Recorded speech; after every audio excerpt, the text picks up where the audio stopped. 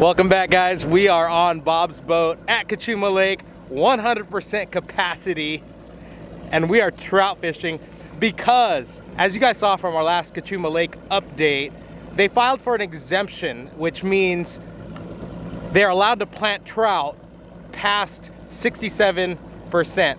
And the reason that they used to only plant at 67 or below was because they were afraid that if the trout got washed into the local streams, they would compete with the native steelhead.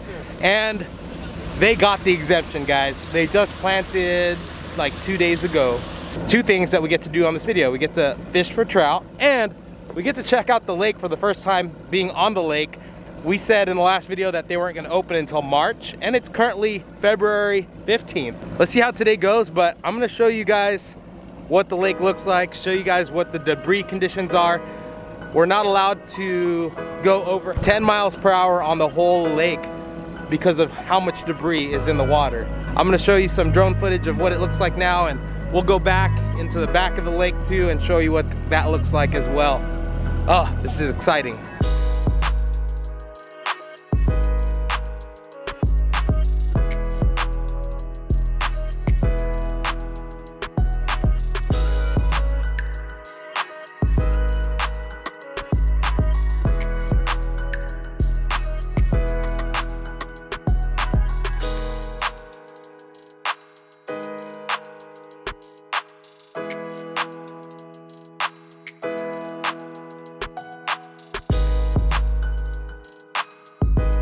Right, so we've been trolling about three, three and a half miles an hour.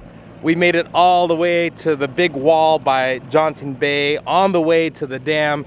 And look at it, guys. There's like no water line. It's like at max capacity. This is pretty awesome. Seeing it like this, it hasn't been full since 2011 and we were just talking about it like you guys saw in the last update that first launch ramp where we launched this morning is going to be good for the next two years even if we get zero rain which is highly unlikely uh, based on them releasing about 15 to 20 percent water every single year. That ramp's going to be good all the way to about 60 percent. So this is really cool to see. So far no bites though. We have a feeling that there's still some fish near the dam because that's where the water's the clearest. And that's where hopefully the fish will be able to see our lures pretty quick.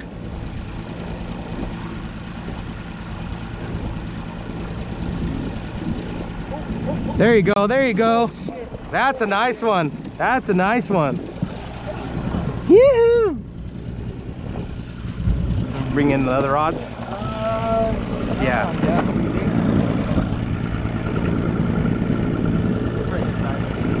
What? Pretty good sizer. Yeah, yeah, yeah, yeah. I don't want to rush it in. Nope. Oh,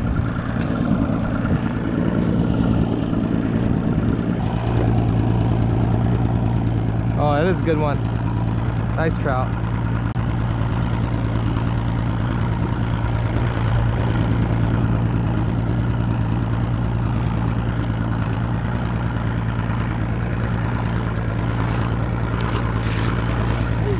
There we go.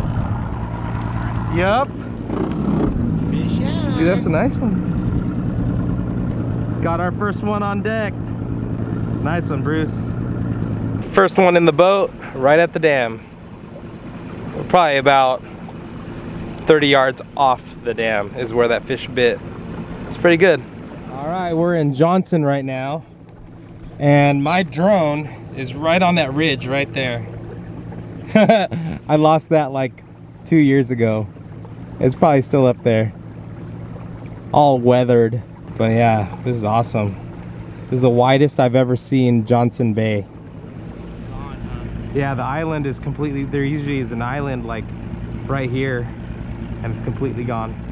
Like right in this area. Oh, oh, oh, there's one. There's a fish. Get it, get it, get it. Nice. Right when I put the camera down, we are on again.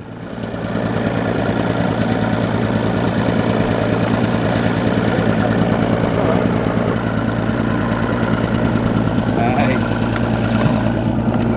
Actually, when we came into Johnson, you can actually see some trout like trailing on the on the surface or tailing on the surface. You could actually see the ripples. So that's what really sealed the deal for us. We're definitely going into Johnson. And really quick, I wanted to give a huge shout out to my buddy Ryan. He runs a website called 805 Webcams. And this website shows you how much water flow is going into our local lakes and it shows you the water levels.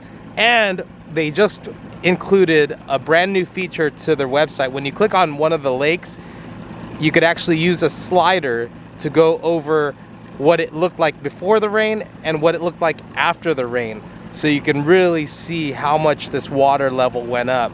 So I was looking at the Cachuma Lake one and it just is a drastic difference.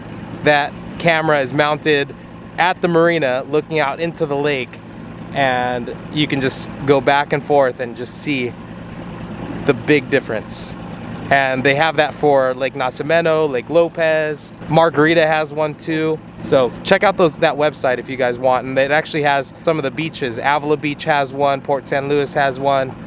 But again, shout out to 805 Webcams. You guys should definitely check that out and follow them on Instagram. East of Vegas. Really? I've never been any other state Okay. besides California, California, Nevada, Nevada, Arizona. Arizona, Washington. Oh! There's that one. Nice! Oh my god. Nice! Oh my god. It's a good one? Good one, Bob? Bob's got a good one on. What do you mean, wow? Wow. It's got some weight. It's got some weight? Feels good. It's coming this way. Oh, right after I put a new bend in it, uh, it wasn't. Oh, that's right. I just told Bet, like, cause it, it wasn't moving right. So with these needlefish, you have to bend them sometimes or make sure that they have just enough action to where it's turning. Back up. There it is. There it is. There it is. Oh, It's a nice fish. It's a nice fish. It's a nice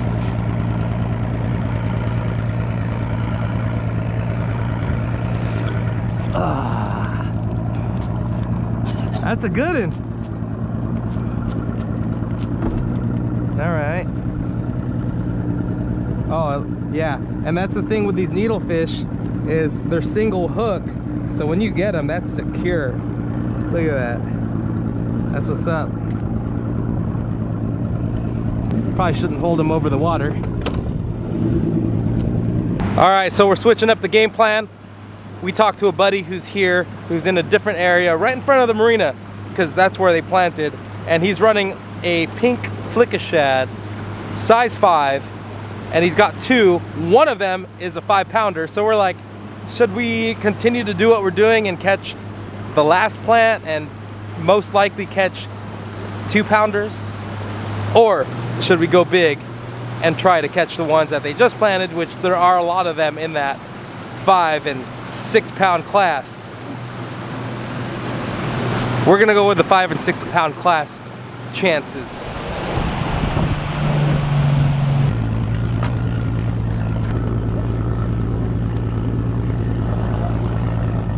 All right, so here's what we're gonna run right now.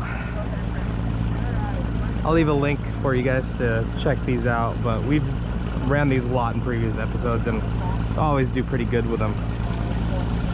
But we do have to set up the buckets to slow us down because Bob's boat trolls pretty quick. It wasn't a full. It wasn't full boat. Dude, the Polaris Supreme is staterooms. What? There's so me and Bob are gonna have one room. We're gonna have a room. Oh, get it, get it, Oh, oh, oh get it, oh, that's a big one. Oh, that was a nice one. Dude, that was. That was a nice one. Bro, I saw this rod shaking Holy like crazy, crap. and it was that rod going off. That was big. You still got your lure?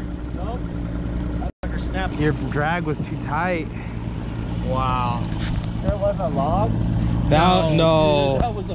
Big, That was a bro. big You didn't- fish, You dude. didn't see the way that thing was hitting. That was a- Wow, big we just lost a big one. Bruce's rod was more than doubled over. Wow, that was a five pounder. We used to launch our boat like 60 feet down, down that way. Now it's way underwater. And we used to have to get a ride from the marina back down once we parked the truck after launching the boat. This is definitely unprecedented. Oh, there's a fish. Oh yeah, Easy. good fish. Yeah. Nice. Yeah. Back to running. Be that. Coming right for us. Maybe not. He's going out that way.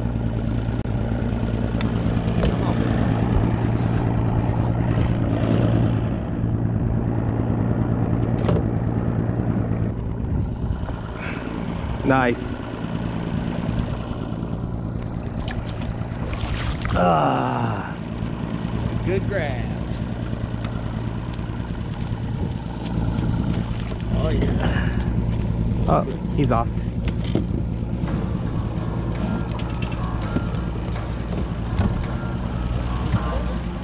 Out in the middle of nowheres. Caught her amongst the debris field. On the needlefish. Oh, fish, fish, fish! Oh, it's jumping! There you go. There you go. That's a good one. Woo! to the side. Yeah.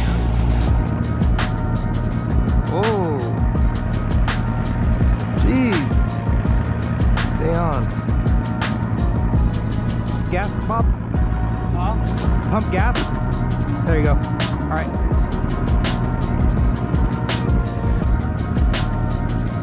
Never mind.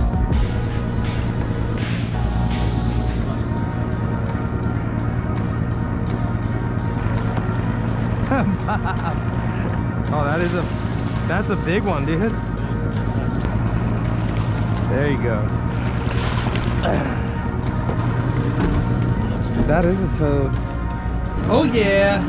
Number 8. Yeah, just a quick update. These fish are not relating to structure like nearby any land. Like it's a lot of our bites were coming out in the open. Like it's been pretty interesting. I wonder if it has to do with a lot of the debris, if they're relating to that, the stuff that's floating, they're kind of searching amongst that for food because there is a lot of debris just floating around here. A lot of things for them to relate to out in the open, but yeah, a lot of our bites have been just not even close to shore at all. It's been interesting. All right, guys, so we just finished lunch, spent a life savings on some hot dogs and hamburgers over at Hook Bar and Grill. just kidding. It was super worth it. Hot food when you're fishing is priceless. but anyway, you guys see that? That is Arrowhead Island. That is where a few episodes ago it was high and dry and I went and looked for my rod and I couldn't find it, but gosh, it's just crazy to see it water level right back up here. I mean, here's some footage of what it looked like back then when I got dropped off over there. I was I was walking probably 40, 50 feet down coming to that island that was way above water. So yeah, we're like 50 feet of water when it was probably like back here, probably like 10, 12 feet. So it's risen like a good 40, 50 feet. Easy. But yeah, I was walking underwater to go down there. We got two bites over there by the island, and then we're heading out of Santa Cruz Bay here and fish on. It's awesome. Feel about the same as the last ones? Yeah. Should be right here. Visibility's not bad.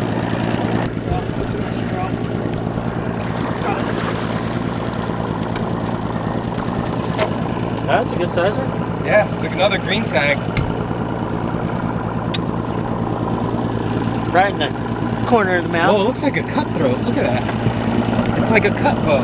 Oh wow, check it out. Yeah, it's got the, the cutthroat markings. crazy. Oh. Cut bow. So these are Mount Lassen trout. They come from Mount Lassen Farms and they planted another 4,000 pounds, so 12,000 pounds total so far this season of those kind of trout. But every time they do a different plant, they're a different color tag.